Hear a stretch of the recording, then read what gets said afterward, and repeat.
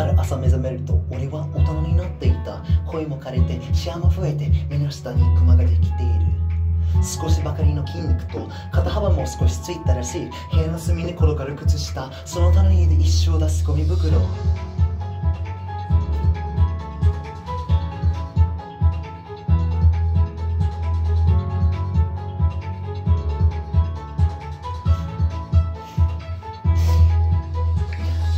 は本当にごめん。そう言ってくれた昔のやつ。らあの時売り切ったのはあいつじゃなくて俺だったじゃないか。なのになかったことにして。なあ元気かってのに言ってんだよ言えてないケツに蓋ができるほど俺は大人にはなっちゃいない。俺は偏屈な人間なのに上司はいつでも飯をおごった。うまそうに飯を食う俺は上司をいつだって可愛がった。恩返しをしたい。そう思う時に限って手遅れだ。売れだけ売りつけて一体何で愛を伝えばいい。過ぎ去ったものすべてが許せない。夢よ早く覚めろ。大人になって分かった。ことなんて単純だ夏は暑くて冬は寒いこと。妄想だって思った。この感情の全てに名前があるということ。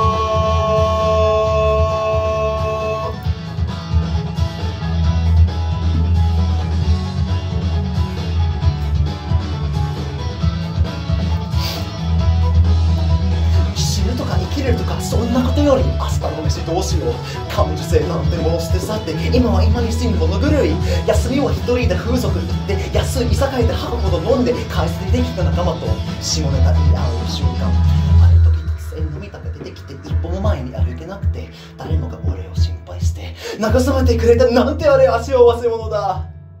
幸せ者だ。だから早く夢から覚めろ立ち止まる勇気を認めない。自分が心底嫌いだ。大人になって分かった。ことなんて単純だ夢は叶うこと努力も加えること一人は寂しいこと二人は気まずいこと人間は難しいこと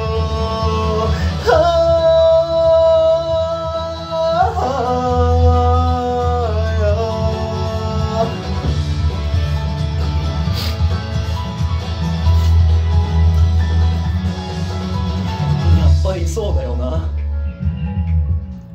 もう二度と子供には戻れないんだ。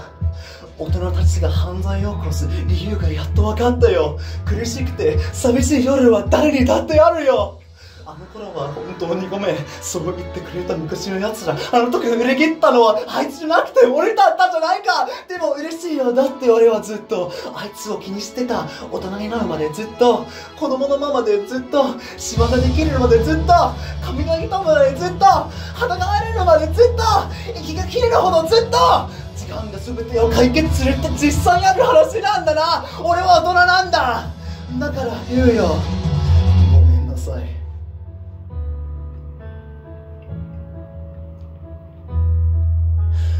いたかったよ。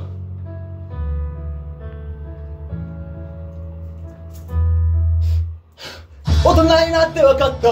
ことなんて単純だ。人は醜くて人は優しいこと。心の奥に眠る像が剥がれ落ちても何も変わらない。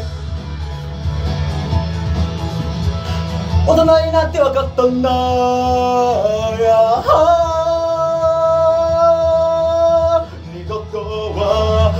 いや二